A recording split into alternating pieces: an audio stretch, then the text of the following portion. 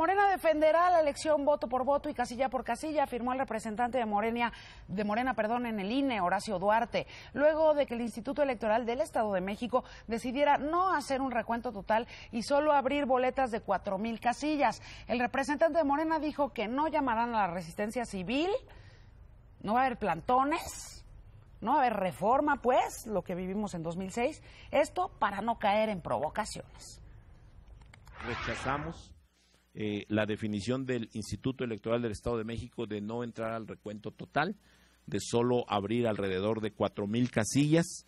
Nosotros sostenemos que en una interpretación legal sistémica que dice que cuando haya más nulos que la diferencia entre el primero y el segundo debe haber un recuento, nosotros sostenemos que el instituto debió haber entrado un recuento.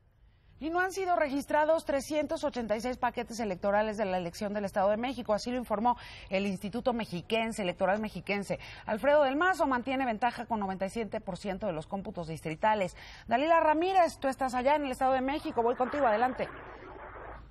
Yuri, buenas tardes. Con paquetes electorales computados, pues ya prácticamente está llegando a su fin. Ya tenemos 18.271 contabilizados más del 97.9% en este conteo, con lo que, como comentabas, da ventaja esto al candidato de la coalición del PRI, Verde Ecologista, Nueva Alianza y Encuentro Social, al estado del Mazo Maza. El último corte ofrecido por el Consejo General del Instituto Electoral Mexiquense da esta cuenta y sobre todo eh, señalar que solo 3.285 paquetes fueron separados para ser abiertos y recontados en las 45 juntas distritales.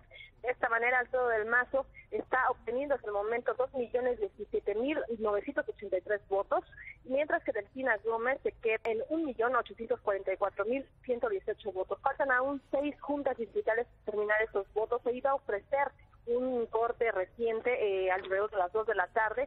Sin embargo, no lo darán a conocer hasta las 4, ya que el Consejo General se encuentra en receso hasta esa hora y comentarte que eh, a las 5 se tiene prevista, 5, 5 y media, se tiene prevista una mega marcha que ya han llamado así aquí en la ciudad de Toluca, que culminará en el punto del Instituto Electoral Mexiquense, por lo tanto estaremos pendientes de lo que pasa en las próximas horas.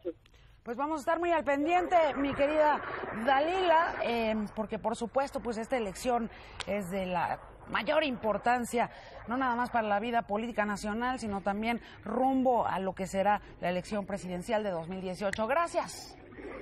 Dalila.